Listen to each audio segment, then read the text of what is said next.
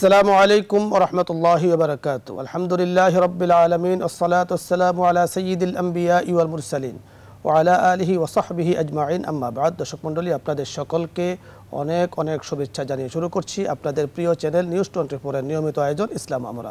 এই অনুষ্ঠানে আমরা আপনাদের পাঠানো বিভিন্ন প্রশ্নের উত্তর, কোরআন ও সুন্নার আলোকে দেওয়ার চেষ্টা করে থাকি। আজকেও তার ব্যতিক্রম নয়। আজকে যিনি আমাদের সাথে যোগ দিয়েছেন, চলুন তার সাথে পরিচয় করিয়ে দিই। বিশিষ্ট ইসলামী চিন্তাবিদ, ধর্মীয় আলোচক শেখ মাসুদ আহমদ, ইমাম ও খতিব বাড়িধারা জামে মসজিদ, ঢাকা। মোহতারাম কেমন আছেন আপনি? আলহামদুলিল্লাহ। আলহামদুলিল্লাহ।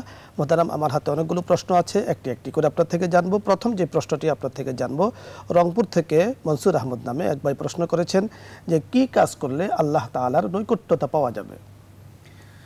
আলহামদুলিল্লাহ রবিল আলমিন ওসলাত ওসালাম আলা সঈদুল আম্বিয়া ইউল মুরসালিন ওয়ালা আলিহি ও আসহাবিহি আজমাইন। মহান আল্লাহ সুবাহনু তাআলা বান্দার কাছ থেকে চান যে বান্দা যেন সর্ব অবস্থায় আল্লাহ রব্বুল আলমিনের পক্ষ থেকে যে নিয়ামত তিনি দিয়ে যাচ্ছেন, সেই নিয়ামতের পরিপূর্ণ কৃতজ্ঞতা ও সুক্রিয়া আদায় করা। মহান আল্লাহ সুবাহনু ওয়া তাআলা বান্দাকে সৃষ্টি করেছেন, অর্থাৎ মানুষকে সৃষ্টি করেছেন, সকল সৃষ্টির উপরে শ্রেষ্ঠত্ব দান করে এবং সকল সৃষ্টিগুলো মানুষের সেবা প্রদানের জন্যই নিয়োজিত। চন্দ্র বলি সূর্য বলি নক্ষত্র বলি এবং অন্য অন্য জীবজন্তু, জলে, স্থলে সকল সৃষ্টির মূল উদ্দেশ্য হল মানুষকে সেবা করা। তাই মহান আল্লাহ সুবাহ আল্লাহ কোরআন করিমে বিভিন্ন জায়গায় মোমিনদেরকে লক্ষ্য করে বলেছেন, ইয়া আল্লাহ আলাইকুম। হে ইমানদারগণ তোমরা তোমাদের প্রতি আল্লাহ প্রদত্ত নিয়ামতের স্মরণ করো, আলোচনা করো।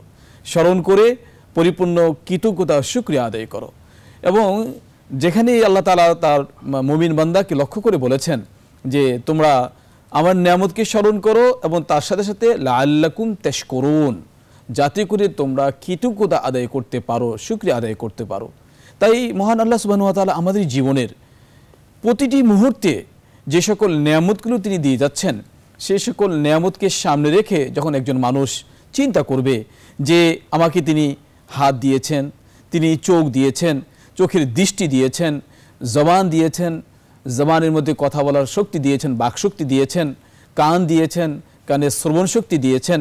এই যে মহান আল্লাহ সুবাহনুয়া তালার এই সকল নিয়ামতগুলো নিয়ে আমরা সকলেই বেঁচে আছি এবং এই সকল নিয়ামতের কথাগুলোকে স্মরণ করে যদি আমরা আল্লাহ তালার কৃতজ্ঞতা এবং শুক্র আদায় করি, তাহলে তিনি তো অবশ্যই খুশি হবেন, সন্তুষ্ট হবেন যে বান্দা আমার নিয়ামতগুলো পেয়ে সে বারবার কৃতজ্ঞতা এবং শুক্র আদায় করে যাচ্ছে।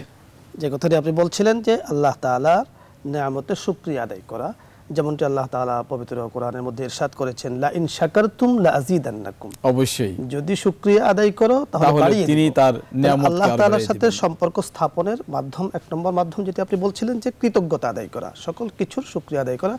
আলহামদুলিল্লাহ রাব্বিল আলামিন লাকাল হামদু ওয়া লাকাশ শুকর। ইয়া রাব্বি লাকাল হামদু ওয়া লাকাশ শুকর।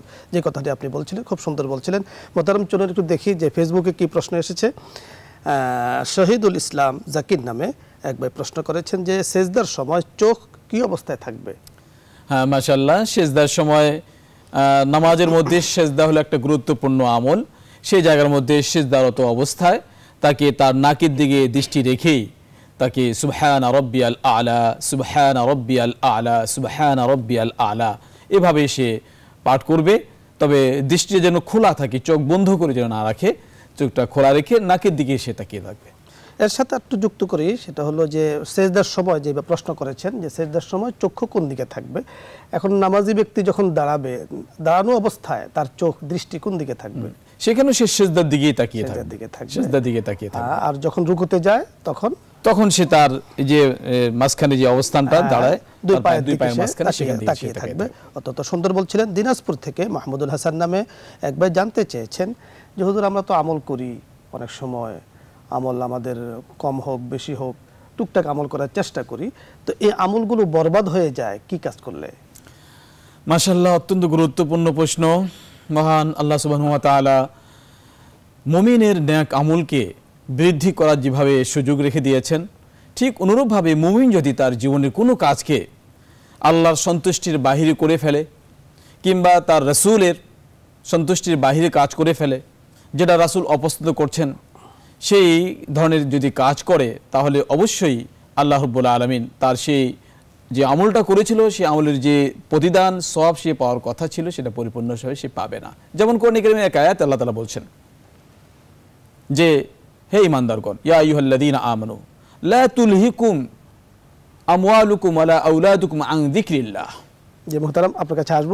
দর্শক অপেক্ষা করছে জি, আসসালামু আলাইকুম রহমতুল্লাহ বারাকাতু দর্শক, আপনি কোথেকে ফোন করেছেন, নাম বলুন, প্রশ্ন করুন। আসসালামু আলাইকুম। জি ওয়ালাইকুম আসসালাম। জি একটু জলদি বগুড়া বলুন। বগুড়া থেকে। জি। আমি বলছি আমার ওয়াইফ প্রেগন্যান্সি ছিল হ্যাঁ? তখন রোজা রাখে নাই। জি। রোজা রাখে নাই এই রোজার জন্য কোনো রোজা না রাখে পরবর্তীতে রোজা না রাখে কাপফারা দিলে হবে নাকি টাকা পয়সা অত্যন্ত সুন্দর প্রশ্ন করেছেন আপনি অপেক্ষা থাকুন ইনশাল্লাহ উত্তর পেয়ে যাবেন। মোহতারাম যে কথাটি বলছিলেন আমাদের দর্শক। জি জি জি। জি। যে দর্শক যে কথাটি বলেছেন যে তার স্ত্রী যদি গর্ভবতী হয়, তখন রোজা রাখতে যদি কষ্ট হয়, দেখতে হবে যে রোজা রাখা যে নিষেধাজ্ঞাটা, সেটা কি কতটুকু শরীয়ত সম্মত তার শারীরিক অবস্থা কি ধরনের? কোনো বিজ্ঞ, দিনদার, পরহেজগার, আলেম পরহেজগার ডাক্তার যদি এ কথা বলে, যিনি শরীর সম্মতভাবে বুঝেন, তিনি যদি বলেন যে না, তোমার রোজা না রেখে রোজা রাখতে গেলে তোমার সন্তানের সমস্যা হতে পারে। তোমার শারীরিক সমস্যা হতে পারে। তাহলে পরবর্তীতে যখন সন্তান ভূমিষ্ঠ হয়ে যাবে তখন যখন সে পবিত্র হয়ে যাবে সুযোগ পেয়ে তখন যে কয়টা রোজা তার ছুটে যাবে সেই রোজাগুলো সে রোজা। রেখে নেবে। রোজা রেখে নেবে। কাফারা দিলে হবে না রোজাই রাখতে হবে। রোজাই রোজার বিনিময়ে রোজাই রাখতে হবে। যেহেতু সে সুস্থ সবল পরবর্তীতে আল্লাহ তাআলা যদি তাকে সুস্থ সবল করেন তাহলে রোজাই রাখতে হবে। রোজাই রাখতে হবে। সুন্দর বলছিলেন যে প্রশ্নটির আপনি উত্তর দিচ্ছিলেন যে মহান আল্লাহ সুবহানাহু ওয়া তাআলা যে আয়াতটি আমি আপনাদের সামনে পাঠ করে শোনাচ্ছিলাম দর্শকরা শুনছিলেন সেই আয়াতের মধ্যে মহান আল্লাহ ওয়া তাআলা বলছেন যে, হে ইমানদারগণ, তোমাদের সন্তানাদি তোমাদের ধন সম্পদ জন্য আল্লাহর স্মরণ থেকে গাফিল না করে ফেলে, সরিয়ে না ফেলে। আং যিকরিল্লাহ অমাইয়া ফাল যালিকা ফাউলাইকা হুমুল খাসিরুন। যে ব্যক্তি আল্লাহর স্মরণ থেকে বিমুখ হয়ে থাকবে, তার আমলগুলো বিনষ্ট হয়ে যাবে, সে ক্ষতিগ্রস্তদের মধ্যে অন্তর্ভুক্ত হয়ে যাবে।